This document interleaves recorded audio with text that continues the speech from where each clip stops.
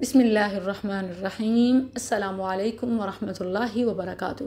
میرے مسلمان بھائیوں اور بہنوں، آج رمضان کے آخری جمعے کے حوالے سے بہت سی عبادات ہمارے ہاں کی جاتی ہیں، بلکہ دنیا کے بہت سے ممالک میں، جمعۃ الوداع کے نام سے۔ کہ یہ رمضان کا آخری جمعہ ہے، بڑا مبارک ہے۔ صلاۃ التسبیح پڑھ لو، فلاں عمل کر لو، فلاں وظیفہ کر لو، بڑا خاص دن ہے۔ کچھ لوگ آج کے دن یعنی رمضان کے آخری جمعے خاص نفل نمازیں پڑھتے ہیں اور یہ سوچتے ہیں کہ سال میں جتنی فرض نمازیں چھوٹ گئی ہیں، جمعۃ الوداع کے اتنے اتنے نوافل اس کا کفارہ بن جاتے ہیں۔ تو آج کے دن کے حوالے سے یہ پیغام بہت اہم ہے۔ خود بھی سمجھیں اور دوسروں کو بھی سمجھائیں کہ شریعت میں جمعۃ الوداع کی کوئی ٹرم، کوئی کانسیپٹ نہیں ہے۔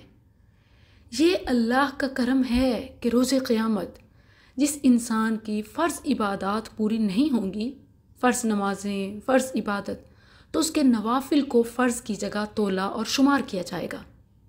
جیسا کہ ترمزی کی حدیث نمبر ون فور تھری ہے۔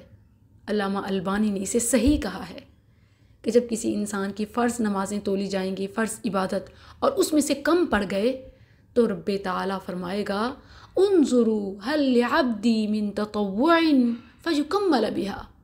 کہ دیکھو کہ میرے بندے کی کوئی نفل نماز، کوئی نفل عبادت، کوئی صدقہ خیرات، کوئی نیکی ایسی ہے کہ اس کو فرض کی جگہ تولا جائے تو فرض کا ریکارڈ پورا کیا جا سکے۔ یہ اللہ کا کرم ہے اور یہ پورے سال کے لیے، دن اور رات کے لیے ٹوئنٹی فور آورس کے لیے صرف جمعۃ الوداع کے لیے نہیں ہے۔ خاص نماز، خاص نوافل، خاص تعداد، خاص عبادت پر نہیں ہے۔ البتہ رمضان میں کی گئی نیکی اجر میں بڑھ جاتی ہے۔ یہ بھی جان لیں۔ جیسے صحیح بخاری کتاب العمرہ میں رمضان میں عمرہ ادا کرنے کے حوالے سے نبی صلی اللہ علیہ وسلم کا فرمان ہے کہ رمضان میں عمرہ حج کے برابر ثواب ہے۔ اسی لیے نوافل کا اہتمام رمضان میں خاص کرنا چاہیے۔ لیکن اس میں بھی جمعۃ الوداع کی کوئی اسپیشلٹی نہیں ہے۔ شیخ ابن العثیمین رحمہ اللہ سے رمضان کے آخری جمعے سو رکعت یا چار رکعت، اس طرح مختلف لوگوں نے مختلف تعداد فکس کی ہوئی ہے۔ ان نوافل پڑھنے کے حوالے سے جب شیخ سے پوچھا گیا کہ کیا یہ صحیح ہے، ان کا کوئی خاص اجر ہے، تو شیخ رحمہ اللہ نے جواب دیا کہ یہ عمل صحیح نہیں ہے۔ نہ شریعت میں جمعۃ الوداع کی کوئی شان ہے، نہ کسی خاص عمل کی۔ آپ غور کریں کہ عبادت کہتے کسے ہیں؟ عبادت وہی ہے نا کہ جس کی قرآن و سنت سے کوئی فضیلت ثابت ہو، کوئی اجر معلوم ہو۔ جس کی فضیلت تو دور، نام بھی شریعت میں نہ ہو، وہ عبادت کیسے بن سکتی ہے؟ عبادت تو نہیں، البتہ تھکاوٹ ضرور ہے۔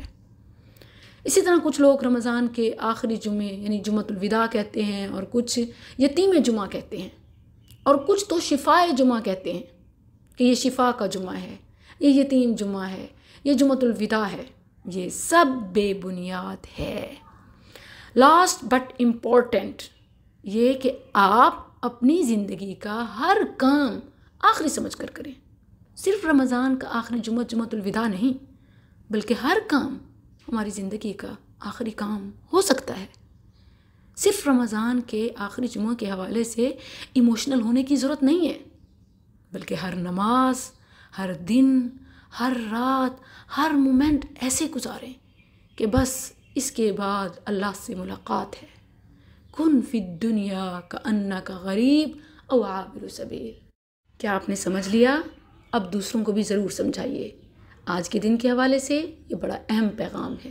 السلام علیکم ورحمۃ اللہ۔